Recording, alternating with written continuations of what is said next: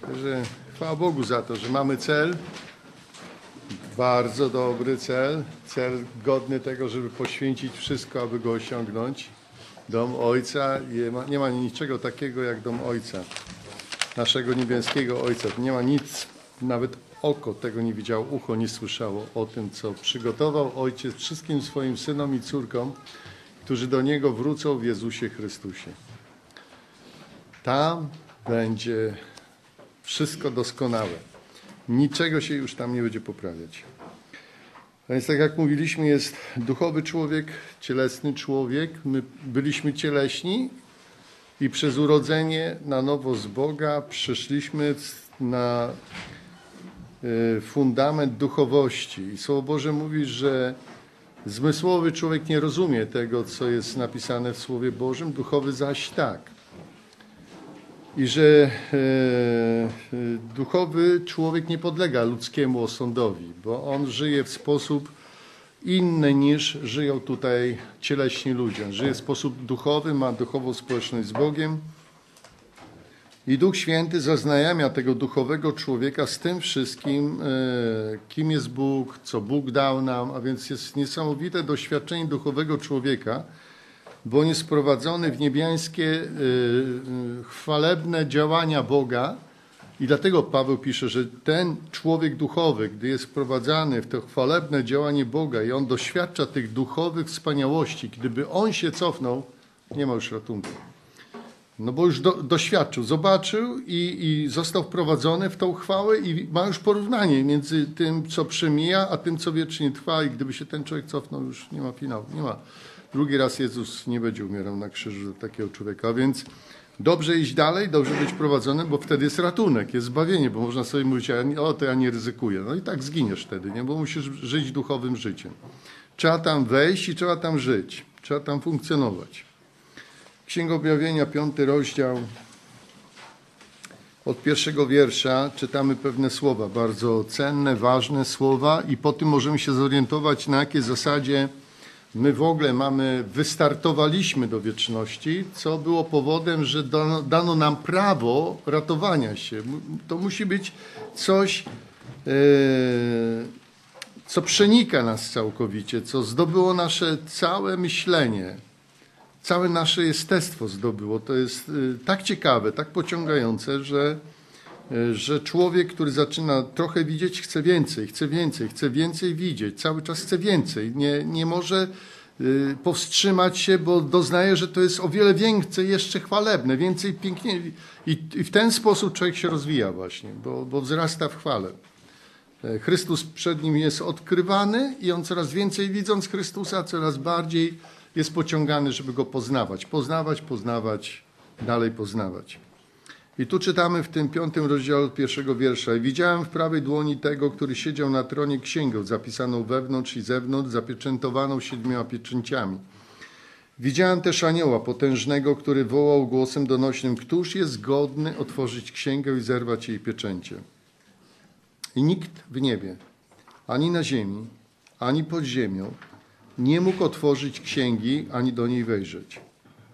A jeden ze starców rzecze do mnie, nie płacz, zwyciężył lew z pokolenia Judy, korzeń Dawidowy i może otworzyć księgę i zerwać siedem jej pieczęcia. Więc dowiadujemy się, że nie było nikogo godnego, który mógłby otworzyć tą księgę. Niesamowite. Całe niebo, archaniołowie, serafowie, aniołowie, starcy, wszystko, całe, całe, całe to niebiańskie e, zgromadzenie i między nimi nie było ani jednego godnego otworzyć tą księgę. Tylko jeden. Dlaczego on był godny otworzyć tą księgę? I widziałem po środku między tronem a czterema postaciami pośród starców stojącego baranka, jakby zabitego, który miał siedem rogów i siedmioro oczu, a to jest siedem duchów bożych zesłanych na całą ziemię. I przystąpił i wziął księgę z prawej ręki tego, który siedział na tronie. A gdy ją wziął, upadły przed barankiem cztery postaci, dwudziestu czterech starców, a każdy z nich miał harfę i złotą czaszę pełną wonności, są to modlitwy świętych. I zaśpiewali nową pieśń tej treści. Godzien jesteś wziąć księgę i zdjąć jej pieczęcie, ponieważ zostałeś zabity i odkupiłeś dla Boga krwią swoją ludzi z każdego plemienia, języka, ludu i narodu. Rozumiemy to? Gdyby nie Jego ofiara, nikt z nas nie mógłby iść do domu Ojca. Nikt z nas, ani serafowie, ani aniołowie, ani starcy, nikt nie był w stanie uczynić tego, co uczynił ten jeden, ten jeden. Dlatego na nim powinniśmy skupić całą uwagę. Skoro całe niebo skupiło na nim uwagę, to cóż my, jeżeli dowiedzieliśmy się, że to jest właśnie ten Jezus, który był na ziemi w ciele i który jest synem Boga i synem człowieka, to on przez to, że dał siebie ukrzyżować za mnie i za ciebie, uzyskał taką chwałę u swego Ojca. Tak go wywyższył Ojciec za ciebie i za mnie. Jeżeli to nie zdobywa nas, to, to znaczy, że coś jest nie tak z wierzącymi ludźmi. Całe niebo śpiewa pieśń, całkiem nową pieśń. Ona jest po raz pierwszy jest śpiewana w niebie. Godzin jest baranek. Niebo rozbrzmiewa nową pieśnią. Pieśnią wykupienia, pieśnią wydostania nas z niewoli ciemności. Dlatego bylibyśmy głupcami, gdybyśmy nie zrozumieli, że chodzi właśnie o tego Jezusa. Cały czas o Niego chodzi. On jest najcenniejszy, najważniejszy.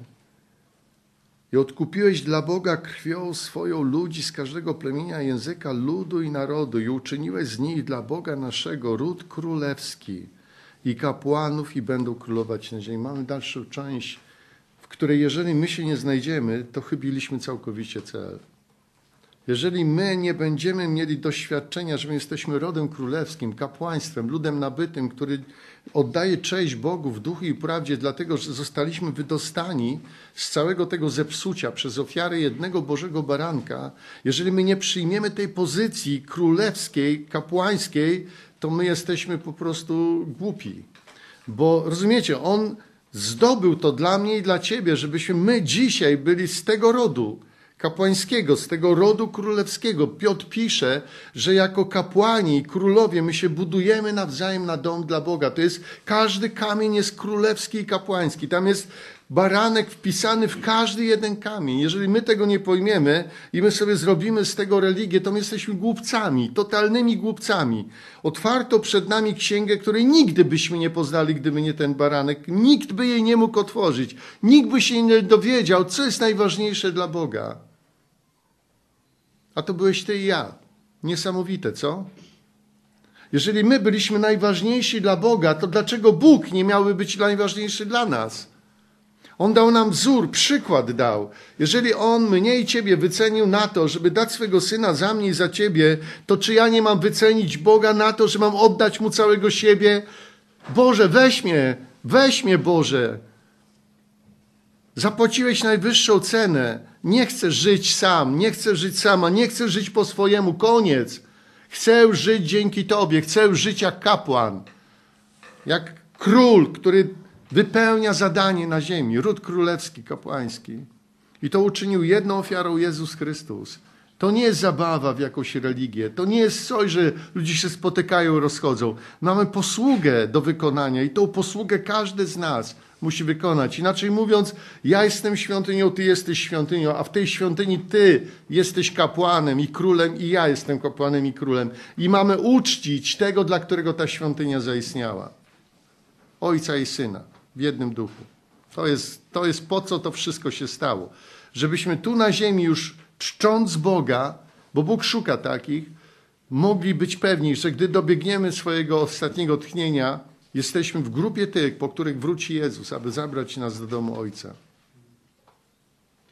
To jest nasze zadanie. Nie, nie, nie tylko czytać. Kapłani czytali Biblię dlatego, Biblię dlaczego? Dlatego, żeby wiedzieć, co robić. Królowie mieli czytać Biblię dlaczego? Dlatego, żeby wiedzieli, co robić. Nie dlatego, żeby mieć tylko, a ja wiem, to jest napisane w tym czy w tym, ale co z tym zrobiliśmy? I to jest najważniejsze. I uczyniłeś z nich dla Boga naród, naszego ród królewski i kapłanów i będą królować na ziemi. A gdy spojrzałem i usłyszałem głos wielu aniołów około tronu i postaci i starców, a liczba ich wynosiła krocie tysięcy i tysiące tysięcy i mówili głosem donośnym, godzien jest ten baranek zabity wziąć moc i bogactwo i mądrość i siłę i cześć i chwałę i błogosławieństwo i usłyszałem, jak, wielkie, jak wszelkie stworzenie, które jest w niebie i na ziemi, pod ziemią i w morzu, i wszystko, co w nich jest, mówiło temu, który siedzi na tronie i barankowi, błogosławieństwo i cześć i chwała i moc na wieki wieków. A cztery postacie mówiły Amen. Starcy zaś upadli i oddali pokłon. Sam Jezus, chodząc po ziemi, powiedział: Ojciec, miłuje mnie, bo ja jestem gotowy życie oddać. Za mnie, za ciebie, żebyśmy już nie musieli żyć byle jak. Nie musisz żyć byle jak. Możesz mieć nową naturę. Jako Boże dziecko możesz ją usunąć. Możesz powiedzieć, że nie chcesz, nie zależy ci na tej naturze, nie zależy ci na tym, żeby należeć tylko do Boga. Chcesz sobie tu na ziemi pożyć. Możesz to odłożyć, tak jak odłożyliśmy to, że byliśmy ludźmi, żyliśmy jak zwierzęta. Możemy odłożyć ludzkość na bok, bo żyliśmy jak zwierzęta. Zachowywaliśmy się jak zwierzęta. I Słowo Boże nas mówiło, że byliśmy jak bydło, zepsute, zepsute człowieczeństwo. I teraz z powrotem odzyskaliśmy wartość człowieka dzięki Chrystusowi. To czy mielibyśmy go uznać za nic niewartego w codzienności? Skoro on przywrócił nam prawdziwą wartość, utraciliśmy ją w Adamie. Odzyskaliśmy w Chrystusie. Bóg jest zadowolony. Czy my mielibyśmy być niezadowoleni z tego, co zrobił Pan Jezus? Bóg mówi, że go wywyższył, ponad wszystkich go wywyższył z tego powodu. Czy my nie mielibyśmy go wywyższyć też w nas, w codzienności? Zróbmy to. Róbmy to codziennie, okazując pak. Byłem głupi, ale już nie jestem głupi. Jestem teraz już mądry. Mądry o to, że wiem, że Jezus zrobił to dla mnie, żeby mógł Cię, Ojcze, uczcić, żeby mógł uczcić Cię należąc do Twojego Syna. W taki sposób, jak Ty chcesz.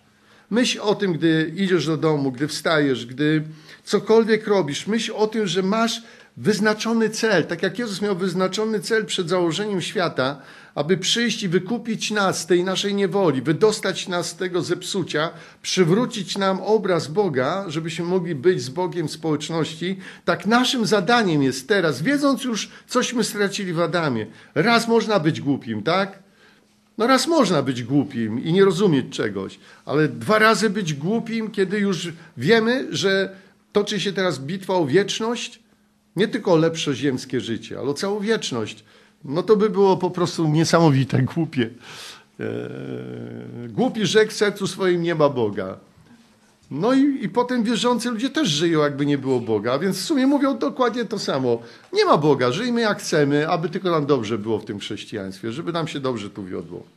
Podczas gdy nie, Jezus mówi, że On nas odkupił, żeby nas uratować. A więc On położył swoje życie za mnie, za Ciebie, za owce. Położył za nas, aby mieć jedną owczarnię i On by był pasterzem wszystkich owiec. W 53 Izajasza jest napisane bardzo wyraźnie, za to, co zrobił, otrzymał poznanie i, i nas otrzymał. Za to, że wykupił nas własną swoją krwią. List do Rzymian, piąty rozdział, od ósmego wiersza.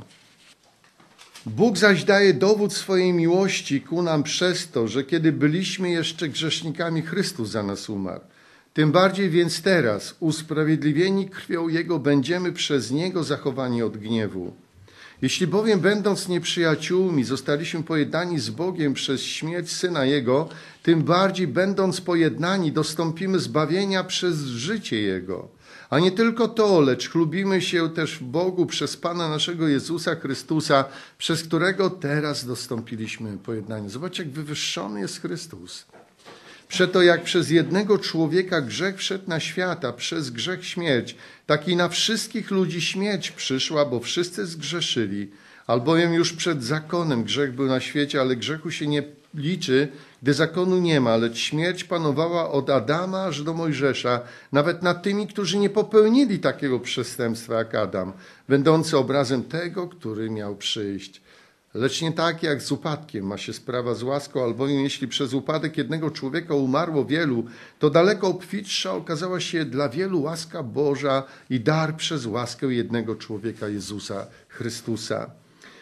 I nie tak ma się sprawa z darem, jak ze skutkiem grzechu jednego człowieka, albowiem wyrok za jeden upadek przyniósł potępienie, ale dar łaski przyniósł usprawiedliwienie z wielu upadków.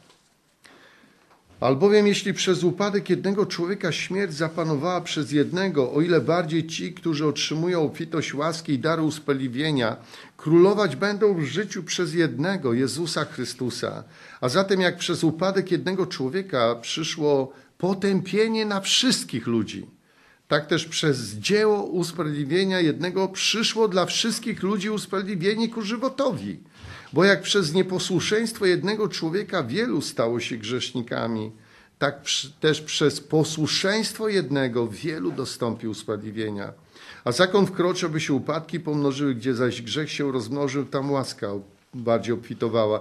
Żeby jak grzech panował przez śmierć, tak i łaska panowała przez usprawiedliwienie ku żywotowi wiecznemu przez Jezusa Chrystusa, Pana naszego. A więc jest to My jesteśmy wyznawcami jednego imienia, Jezusa Chrystusa. Dla nas my jesteśmy, mamy świadomość, że jesteśmy Jego ciałem. Od Jego ciała wymaga się to, żeby On mógł decydować w Tobie i we mnie. My powinniśmy oddać Mu wszelkie prawa do siebie i pilnować, żeby On mógł wykonać to, po co przyszedł, żeby On w Tobie i we mnie mógł wykonać, żebyśmy byli zdobyci dla pomysłu Boga, że On chce nie tylko, żebyśmy przestali grzeszyć, On chce, żebyśmy mieli z Nim wyjątkową społeczność. Tu na ziemi mówi, pragnąłem zawsze w Izraelem mieć taką społeczność, żebyście byli wyłącznie dla mnie i nie mógł to osiągnąć, bo tam cały czas to ciało było. I przyszedł Chrystus, umarł za mnie i za ciebie, żeby usunąć naszą cielesność, żeby Bóg mógł w końcu nas mieć ze sobą. Ale kiedy my nie dopilnujemy tego duchowego zwycięstwa, z powrotem cofamy się pod cielesność i znowuż cielesność oddziela nas od Boga. I masz, i znowuż i teraz wierzący człowieka oddzielony od Boga. To jest niesamowite. Cielesność oddziela od Boga. Dlatego Paweł pisał do nich, że możecie różne rzeczy czynić. Jeżeli nie macie miłości, już jesteście niczym. Nic nie znaczy to, co robicie. Nie może Bóg mieć społeczności. A więc zobaczmy, co musimy między sobą uporządkować, co usunąć, jakie rzeczy usunąć, co musimy zmienić między sobą, żeby Bóg mógł tu być. Z powodu Niego żyjemy, z powodu Pana umieramy, Pańscy jesteśmy. A więc co powinniśmy zrobić, powinniśmy wszyscy myśleć. I to powinno być normalne, powinno być to oczywiste, że tak myślimy. Że między nami nie ma nikogo, kto nie chciałby być dla Chrystusa. Powinno być to normalne, a jednakże ta normalność Ciężko jest ją znaleźć, gdziekolwiek ciężko ją znaleźć. Pan przyszedł do wszystkich narodów, wszystkich plemion, wszystkich języków, żeby kto tylko uwierzy, mógł, mógł wyruszyć i mógł się ratować. To jest y, dla nas bardzo, bardzo ważne. I dlatego budujemy się na Boży Dom. Księga Objawienia, drugi rozdział. I tu w Księdze Objawienia, ten drugi rozdział, 26 wiersza czytamy – Zwycięzcy i temu, kto pełni aż do końca uczynki moje, dam władzę nad poganami i będzie rządził nimi laską żelazną i będą jak skruszone naczynia gliniane. Taką władzę ja otrzymałem od Ojca mojego, dam mu też gwiazdę poranną. Kto ma uszy, niechaj słucha, co Duch mówi do zborów. Dam mu taką władzę. Będą królować na ziemi. Będą królować na tej ziemi, władać ludami. Jego, Jego lud, Jego królewski lud, kapłaństwo. Będziemy rządzić na ziemi, dlatego że wygraliśmy, że nie zamieniliśmy tej chwały, którą On nam przyniósł, znowuż na głupie, głupie chrześcijaństwo. Wcześniej życie, które mieliśmy, dostaliśmy od Boga, zamieniliśmy na głupie życie. Teraz zamieniamy życie wieczne znowuż na głupie życie. Głupie życie, życie bez radości, bez wdzięczności, bez chwały, takie po prostu taki mozu. Bóg mówi, już mam dość was z tym waszym mozołem. Przecież dałem wam wszystko. Dałem wam przebaczenie, dałem wam pojednanie, dałem wam Ducha Świętego, dałem wam wszystko, co tylko mogłem dać, ponieważ powiedział, w Nim obdarzył nas całkowitym obdarzeniem niebios. A więc można powiedzieć, że Bóg już nic nie zatrzymał. Wszystko nam dał w Nim, w Chrystusie. Mówi, a teraz wytrwajcie w Nim do końca. Trwajmy w Nim, pomagajmy sobie, wspierajmy się nawzajem. Bądźmy uczciwi. Tu nikt nie wymaga, żebyś był fenomenem momentalnie, czy fenomenką. Chodzi o to, żeby z dnia na dzień, korzystając z Chrystusa, coraz więcej, coraz więcej tego Chrystusa było widoczne w nas i pośród nas. Nie, żeby On uchodził, ale żeby coraz więcej go było widać. O to walczmy, o to się starajmy. A to nie, nie polega na tym, że ja będę, nie wiem, coraz bardziej faryzejski, tylko mam być coraz bardziej chrystusowy. Nie tyle, że będę wiedział więcej od innych, ale to, co wiem, będę czynił. To jest chrystusowe. To jest bardzo ważne. Pierwszy Piotra, pierwszy rozdział, od 13 wiersza. Dlatego kiełzajcie umysły wasze i trzeźwymi będąc połóżcie całkowicie nadzieję waszą w łasce, która wam jest dana w objawieniu się Jezusa Chrystusa. Jako dzieci posłuszne nie kierujcie się porządliwościami, jakie poprzednio wami władały w czasie nieświadomości waszej. Lecz za przykładem świętego, który was powołał, sami też bądźcie świętymi we wszelkim postępowaniu waszym, w każdym postępowaniu naszym. Bądźmy świętymi, bo święty. Ponieważ napisano świętymi bądźcie, bo jestem święty. A jeśli wzywacie jako ojca tego, który bez względu na osobę sądzi każdego, według uczynków jego żyjcie w bojaźni przez czas pielgrzymowania waszego, wiedząc, że nie rzeczami znikomymi, srebrem albo złotem zostaliście wykupieni z marnego postępowania waszego, przez ojców wam przekazanego, lecz drogą krwią Chrystusa, jako baranka niewinnego i nieskalanego, Wprawdzie był on na to przeznaczony przed założeniem świata, ale objawiony został dopiero w czasach ostatnich ze względu na Was, którzy przez Niego uwierzyliście w Boga, który Go wzbudził z umarłych i dał Mu chwałę, tak iż wiara Wasza i nadzieja są w Bogu. Skoro dusze Wasze uświęciliście przez posłuszeństwo prawdzie ku nieobłudnej miłości bratniej, umiłujcie czystym sercem jedni drugich gorąco, jako odrodzeni, nie z nasienia skazitelnego, ale nieskazitelnego przez Słowo Boże, które żyje i trwa. Możemy powiedzieć to w ten sposób, że każde moje czy Twoje prawdziwe zawołanie Abba Ojcze do Boga w niebie czci Jezusa, szanuje Jezusa, bo On jest tym nasieniem, z którego my zostaliśmy zrodzeni jako synowie i córki, żeby móc do Boga w niebie mówić Ojcze. To jest niesamowite uczczenie Syna, że my do Boga w niebie mówimy Ojcze. Przez to czcimy Syna. Kto czci Syna, czci Ojca.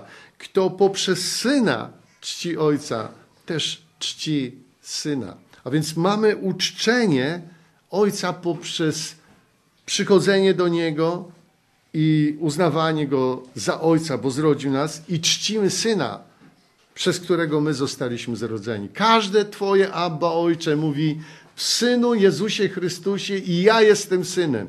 W Synu Jezusie Chrystusie i ja jestem córką. Jestem dzieckiem Boga w Synu Jezusie Chrystusie. Abba Ojcze chwali Syna. Chwali zwycięstwo. To właśnie w niebie określili. On zrobił ród królewski, kapłaństwo święte. On zrodził nas. Bóg zrodził nas w swoim synu. To było zwycięstwo, niesamowite zwycięstwo. Nie starzy ludzie ulepszani, lepieni, jakoś składani, stare skończone na krzyżu. Wszystko zaczyna się na nowo. Nowy człowiek powstaje w tym Chrystusie. Duchowy człowiek, który rozpoznaje duchowe wartości i zaczyna rozumieć w ten sposób właśnie, kiedy rozumiem, że to jest mój ojciec, niebiański ojciec, Bóg w niebie, jest moim ojcem Dzięki Jezusowi. Dzięki Jezusowi. Dzięki temu, że On umarł za mnie na krzyżu, bo cały czas byłbym dzieckiem diabła. Byłbym dzieckiem diabła i ty też. I wszyscy byśmy byli jedną rodziną. Tak, jak byliśmy. Diabła mieliśmy za, za ojca. Tak, to była taka rodzina. A teraz mamy ojca w niebie. Jest to inna rodzina. Święta rodzina, czysta miłująca się nawzajem. Róbmy to, ludzie, róbmy to. Będąc dziećmi Boga, róbmy to, co przysługuje dzieciom Boga czynić. Bóg lubi, gdy Jego dzieci w zgodzie żyją, gdy się miłują, szanują, pomagają, wspierają sobie nawzajem, umywają sobie nogi, jak mówi Pan Jezus. No, po, pomagają sobie. Róbmy to. Przecież to jest właśnie po to jesteśmy Bożą rodziną. Nie, nie, od, nie, nie odstawajmy, nie mówmy, a no, nie mam czasu na to. Jak nie masz czasu na to, być, żeby być rodziną Boga? Nie masz czasu? To wszędzie możesz to robić przecież, w każdym momencie. Wiecie, nie chcę, żeby ktoś nie myślał, że to jest jakaś krytyka czy cokolwiek innego, żeby ktoś tam sobie myślał o tym, ale łatwo napisać wiadomość. Zrób to!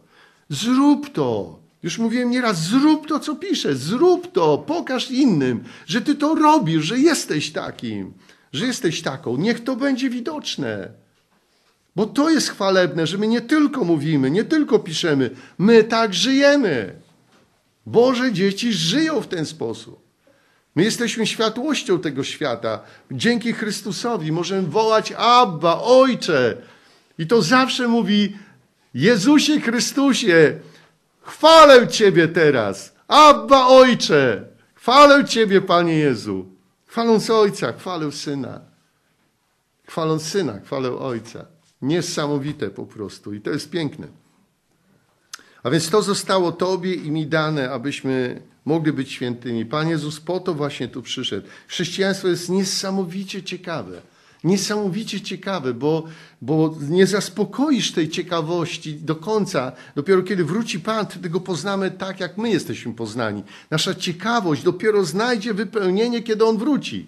A więc nie możemy powiedzieć, już zaspokoiłem swoją ciekawość i w sumie już mnie tak bardzo nie ciekawi ten Chrystus. Już w sumie już wiem o nim to, wiem tamto, już w sumie nie muszę tak się zagłębiać w Biblię, już wiem co tu napisane, a więc zajmę się czym? Ciałem, cielesnością. I poszło. I wszystko poszło sobie gdzieś tam. List do Efezjan, drugi rozdział. Czyjmy to. Po prostu Jezus mówi, czyjmy to. Czyjmy to. Czyjmy to, co dzieci Boże mają czynić. Nie czekając na emocje, na jakieś, nie wiem, no, ja może jakby mnie co poruszyło, to może wtedy. No i co, poruszyło cię raz, drugi, potem cię już nie poruszyło i nie ma, nie ma chwały, nie ma dziecka Bożego. Wyparowała chwała. Nie, tak nie ma. I to od 11 wiersza. Zobaczcie, jak, jak to apostoł mówi. Przeto pamiętajcie o tym. Jakie to jest więc ważne. Będziemy wam o tym przypominać, będziemy wam stale o tym przypominać, abyście pamiętali o tym do końca swoich dni i abyście innym to przypominali do końca swoich dni. Żeby inni później innym przypominali do końca swoich dni, żeby aż przyjdzie wróci Chrystus, żebyśmy to wszyscy sobie nawzajem przypominali. A pamiętasz? A pamiętasz to, jak żyłeś wcześniej, jak żyłaś wcześniej? Czy nie z tego właśnie przyszedł nas wyzwolić Chrystus? Czy mamy dalej żyć po staremu? Czy wszystko stało się nowe? A pamiętasz, że byłeś głupcem? Pamiętasz, że nie chciałeś być głupcem? Pamiętasz, że byłaś głupia, nie chciałaś być głupia? Pamiętasz, że chciałeś być mądry, mądra? Przecież Chrystus jest naszą mądrością. Ludzie, przecież to nie jest mądrość filozoficzna, psychologiczna. To jest mądrość realna, rzeczywista. Jezus wiedział, co wybrać, co odrzucić. My też dzięki niemu możemy wiedzieć, co wybrać, co odrzucić. Niesamowita chwała. A więc pamiętajcie o tym, że wy niegdyś poganie w ciele, nazywani nieobrzezanymi przez tych, których nazywają obrzezanymi na skutek obrzeski dokonanej ręką na ciele. Byliście w tym czasie bez Chrystusa, dalece od społeczności izraelskiej i obcy przymierzom zawierającym obietnicę, nie mający nadziei i bez Boga na świecie. Pamiętajmy, tacy byliśmy. Ale teraz wy, którzy niegdyś byliście dalecy, staliście się w Chrystusie Jezusie bliscy przez krew Chrystusową. Pamiętajmy, byliśmy daleko, a teraz jesteśmy już blisko. A więc zmieniła się sytuacja dzięki Chrystusowi Jezusowi. Albowiem On jest pokojem naszym, On sprawił, że z dwojga jedność powstała i zburzył w ciele swoim stojącą pośrodku przegrodę z muru nieprzyjaźni. On to uczynił. On zniósł zakon przykazań i przepisów, aby czyniąc pokój, stworzyć w sobie samym z dwóch jednego nowego człowieka i pojednać obydwóch z Bogiem w jednym ciele przez krzyż, zniweczywszy na nim nieprzyjaźń. Niesamowite zwycięstwo Chrystusa. Dlatego on był godzien otworzyć tę księgę. I przyszedłszy, zwiastował pokój wam, którzyście daleko, i pokój tym, którzy są blisko, albowiem przez niego mamy dostęp do Ojca, jedni i drudzy w jednym duchu. Tak więc już nie jesteście obcymi, przychodniami, lecz współobywatelami świętych i domownikami Boga. Zbudowani tak się mamy czuć, mamy tak mieć naprawdę, bo już nie jesteśmy dziećmi świata, jesteśmy dziećmi Boga. Nasz dom jest w niebie. My tu jesteśmy dla Niego, dla Jego chwały. My jesteśmy teraz nowymi ludźmi. My jesteśmy ludźmi według Chrystusa ludźmi. My jesteśmy wydobyci z tego zła, żeby prowadzić nowe, czyste, święte życie. My jesteśmy już nie dla chwały diabła, ale dla chwały Jezusa tu na tej ziemi. Aby uczczony był Chrystus w nas, bo On spłacił nasz dług i pojednał nas z Bogiem przez swoją ofiarę, przez swoją krew. Dlatego Bóg, kiedy On nas pojednał z Bogiem, wywyższył swojego Syna i posadził Go po swojej prawicy. aby wszyscy oddawali cześć tak Ojcu i Synowi. Jak Ojcu, tak i Synowi. Aby wszyscy czcili Syna, jak czczą Ojca. Zbudowani na fundamencie apostołów i proroków, którego kamieniem węgielnym jest sam Chrystus Jezus, na którym cała budowa mocno spojona rośnie w przybytek święty w Panu, na którym i wy się wespół budujecie na mieszkanie Boże w duchu. I mogę powiedzieć stałą oficjalnością Królestwa Bożego. To wszystko dzieje się przez wiarę. Tu nie ma nic przez dotykanie. Albo wierzysz, albo nie. Wszystko przez wiarę tu się dzieje. Słyszysz, wierzysz, masz. Słyszysz, nie wierzysz, nie masz. Słyszysz, wierzysz, radujesz się. Słyszysz, nie wierzysz, nie radujesz się. Proste. A więc na zasadzie wiary to działa. Sprawiedliwy z wiary żyć będzie. Będzie e, korzystać z tego, kim jest Pan Jezus Chrystus. E, w tym liście do Filipian, tym trzecim rozdziale, przeczytamy ten jeden wiersz. E, apostoł pisze tutaj w dziewiątym wierszu. I znaleźć się w nim, nie mając własnej sprawiedliwości opartej na zakonie, nic nie próbując tam wnieść swojego jakiegoś do, tu nawet zakon, a co dopiero jak my żyliśmy tam całkowicie bez która się wywodzi z wiary w Chrystusa, sprawiedliwość z Boga na podstawie wiary. Sprawiedliwość z wierzenia w Chrystusa Jezusa. To jest dla mnie i dla Ciebie najważniejsze.